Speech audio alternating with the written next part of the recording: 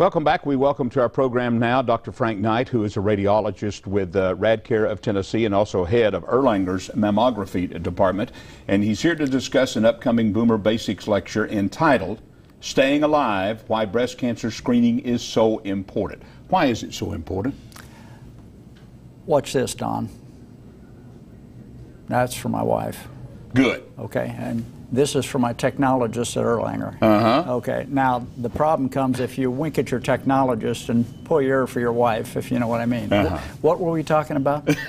I've forgotten already. Okay. No, no, why Oh, breast cancer yeah. screening is so important. well, it, it, has been shown to be effective in reducing the, the uh, mortality rate from breast cancer. That's good news then. It is, it is, and uh, most women know that now, and, and most women get the annual mammograms after the age of 40 that they really should. Um, I'll be talking about, at, at the lecture you may mention or talk, I'll, I'll be talking about um, breast cancer screening things we've, we've used in the past and what's current and, and some things that are pro- look promising for the future. And um, um, while I'm on television, I'd, I'd really like to reach the women that, that put mammography out of their mind or they say, I, don't, I just can't deal with that, I, Yeah. or the concept of breast cancer. You know, I'm, some people deal, deal with things by repression or suppression, just putting it out of your mind. And I, I deal with a lot of things that way myself. But Well, uh, I think we all have a tendency to. Sure,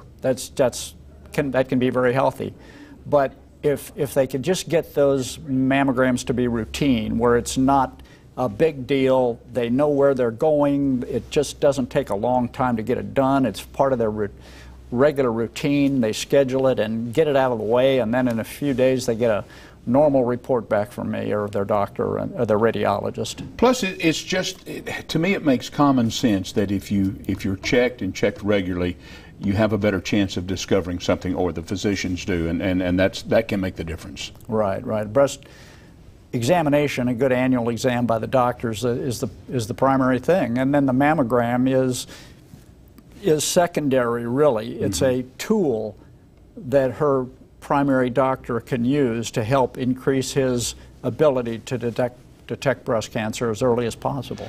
How do you feel about because we've seemed to have had a couple of people in the news recently, I, I say like singers, actors, whatever, uh, that if they discover they have breast cancer, they want the other breast removed as well. Maybe it's a precaution or whatever. And in certain situations, that, that can be helpful, but generally not. Uh, What one problem that, that pops up is a, a young person, uh, say a 25-year-old actress, will will get cancer, and then, you know, she'll she'll say everybody's got to have an MRI. That's an example. Yeah.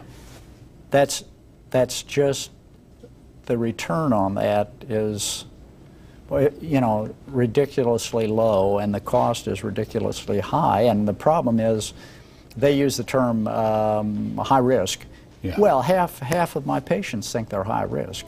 If anybody in the family ever had breast cancer, they think they're high risk. I mean, that's not true at all. The, uh, for young women um, who have a, a certain genetic predisposition to breast cancer, then that's a problem. Yeah. But that's Yeah. a small percentage, and it's women that need to be, that have, you know, more than a 50% chance, or Sure. they have an 80% chance of getting breast cancer in their lifetime. Okay, the average woman, it's more like one out of eight or one out of 10. That's over their entire lifetime. Any given year, it's more like one out of 200 that they would have breast cancer. So it's, for most people, it's a routine thing. They need to be fasten their seatbelts, don't smoke, Yeah. maintain good weight, watch your blood pressure, you know, things like that are Yeah. even more important. Yeah, I understand.